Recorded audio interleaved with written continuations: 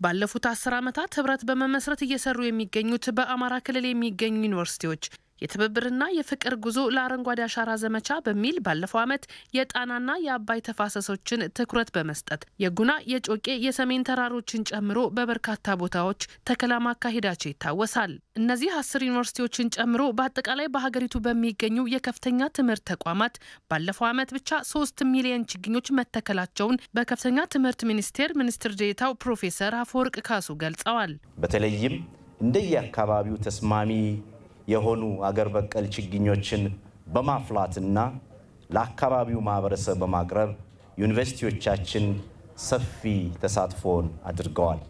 በተጨማሪም የአፈር ጥናትና ምርምር ማዕከላት ያሏቸው ዩኒቨርሲቲዎች በአፈር ምርምር ስራዎችም ላይ አስተዋጽኦችን እያበረከቱ ይገኛሉ። በዘንድሮ ዓመትም በኢትዮጵያን እናልብስ ሶስተኛው የአረንጓዴ አሻራ መርሃ ግብር አስሩ በአማራ ክልል የሚገኙ የመንግስት ዩኒቨርሲቲዎች በእንጅባራ ዩኒቨርሲቲ አዘጋጅነት በእንጅባራ ከተማ ሌዊ ተራራ ላይ ተከላ አካሂደዋል።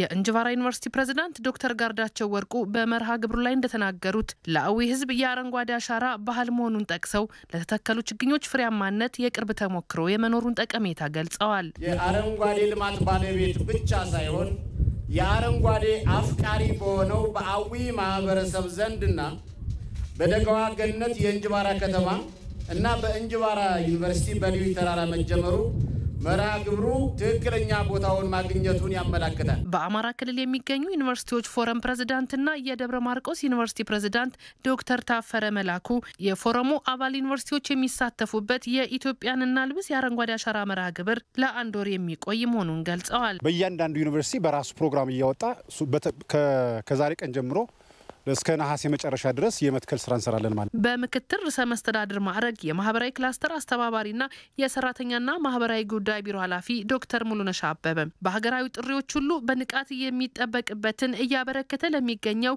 የአማራ ዩኒቨርሲቲዎች ፎረም ምስጋና አቅርበዋል። በሀገራችን ላሉ ዩኒቨርሲቲዎች በጋራ ብንቆም አገራችን የገጠማትን የሰላም ችግር እንበለው የልማት የአረንጓዴ አሻራ ችግር ከአማራ ዩኒቨርሲቲዎች ትልቅ መማር ይቻላል።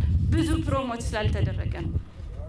እንደ ክልል ብዙ ተጠቅመናል። ሌሎቹም ከዚህ ሊማሩ ይገባል። ዩኒቨርሲቲዎች ለአረንጓዴ አሻራ መርሃ ግብር ስኬታማነት ተሞክሯቸውን በማጋራትና በምርምር ይበልጥ ሊያግዙ እንደሚገባ ደግሞ በከፍተኛ ትምህርት ሚኒስቴር ሚኒስትር ዴኤታ ፕሮፌሰር አፈወርቅ ካሱ አሳስበዋል። የተከሉ ችግኞች ተገቢውን ሳይንሳዊ ክትትሎችን እንዲያገኙ በመደገፍ ሀገራዊ ኃላፊነታቸውን ከምን ጊዜውም በላይ በእኛ ወቅት ሊወጡ ይገባል። በመርሃ ግብሩ ላይ የአስሩ ዩኒቨርሲቲዎች ከፍተኛ የስራ ኃላፊዎች፣ ሰራተኞች፣ የእንጅባራ ከተማ የሀገር ሽማግሌዎችና ወጣቶች የተሳተፉበት ሲሆን 18 ዝርያ ያላቸው ከ66 ሺህ በላይ ችግኞች ለተከላ ቀርበዋል።